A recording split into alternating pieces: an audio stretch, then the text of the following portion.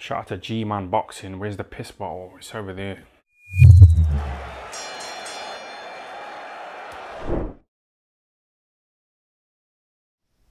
All right, people. Josh Taylor retains his undisputed super lightweight world championship. He beats Jack Catterall. Well, no, no, no, no. He gets the decision over Jack Catterall. Can I tell you? do you know what? Right? People. A lot of my friends are UFC fans, and they always say UFC is just superior to boxing. The big fights don't get made, and you see some dodgy decisions. They are spot on they are spot on about a lot of things when it comes to their criticisms of boxing. And bullshit like what I've just seen right now in Josh Taylor getting this decision. I picked Josh Taylor to win the fight. I'm a bit of a fan of Josh Taylor, but I'm not going to give him a pass on this. He did not win that fight. He did not win. I watched that fight from tw- round one to round, excuse me, 12, and he did not win this fight.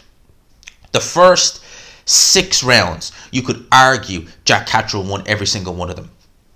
There was rounds there like the third round, the sixth round, the tenth round specifically for Josh Taylor, which were close, nip and tuck, even Steven rounds.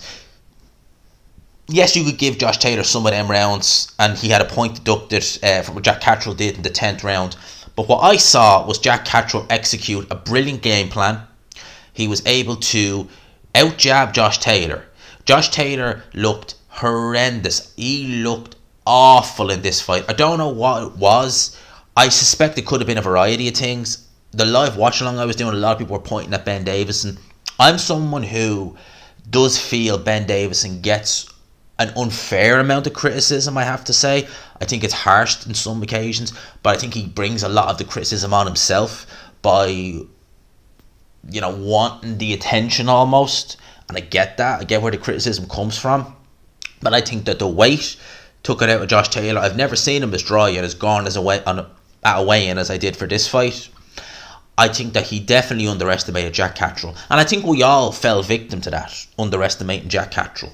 Because I'd only ever seen him at British level, done very well at British level, but only ever seen at British level. I didn't think he'd be able to crack the world stage. Well, he was cracking Josh Taylor's chin with left hands from the first round. His timing looked very good. His judging distance was very good. He didn't waste any shots. It wasn't a fight of high volume. You know, both guys threw. I think both guys didn't even crack 500 punches each, which, uh, especially at 140 pounds, is very rare. You know, because you, you see them numbers more at heavyweight and cruiser than you would at light at super lightweight. But he was throwing more, he was landing more, he had a great judge of distance. It was very messy when it got up close. It was very, very messy. But Josh Taylor, the sharp punching, head movement, the rolling in and out, the uppercuts, the body punching, none of that was there.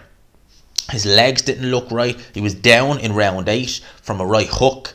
The body shots went in from Jack Catterall and he landed a very good right hook. Taylor took a knee, quite rightly. The referee said knockdown, quite, quite rightly. And the worrying thing I have as well is that at the end of the 11th round, Josh Taylor, as I said, carelessness in its most criminal evidence was at the end of a round, Josh Taylor gave Jack Catterall a little kind of a, there you go, mate, shot. And the referee said, well, you just punched him after the bell. One point. And he still won the fight. Now, bear in mind, Jack Catterall was winning these rounds. Most of the rounds Jack Catterall was winning, you could give him to Jack Catterall. He was clearly winning most of the rounds. And the point deductions. He Josh Taylor lost two points, one for a knockdown, one for a legit silly, stupid incident. And he still wins the fight and people what I want to come to the UK. Uh, like obviously, Jack Catterall's not an away fighter in that sense. He's not an American. He's not a European, Eastern European. He's not an Oriental fighter or someone like that who's coming as the away fighter. But he's coming to Josh Taylor's backyard, and not like what Kid Galahad did against Josh Warrington, just try and nick the fight. He actually went in to win this fight, and he won it, and he didn't get the decision. And it's just a, my God it just doesn't do boxing any good. In terms of Jack Catch performance, excellent performance, very good. I was only criticising Jamie Moore the other day with my mate Jamie Punch Perfect Boxing. It's got a great YouTube channel as well, and he puts on a performance like that, doing a great job. Ben Davison, I I have to watch this fight back. Maybe in the cold light of day, my opinion will be different. But right now, I feel that Josh, Josh Taylor should have an L.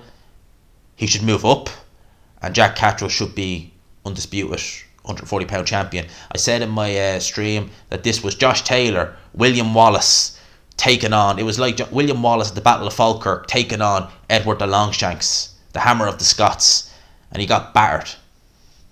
But the difference is, back then it was just hand to hand combat, no judges. We had judges. The three wise men. Well, they weren't very wise now, were they? Oh, mate, unbelievable, unbelievable. Um, Jack Catterall will be a world champion. He'll pick up one of them titles when Josh Taylor moves up. Josh Taylor's going to want to take a good, long, hard look at himself. He over, I think he overestimated his own ability and he underestimated Jack Catterall, and I think he's dead at the weight. Ben Davison, I do think he's unfairly criticised to an extent. He is a good trainer. He, like people, he is a good trainer. Listen to him talk. He knows boxing. He understands. He's a good trainer. He's just got an ego. That's all that's wrong with him. And he needs to keep that in check. But this was a robbery. I don't use that term often. This was a robbery. If you don't like it, tough. It's a robbery. People, I'll talk to you.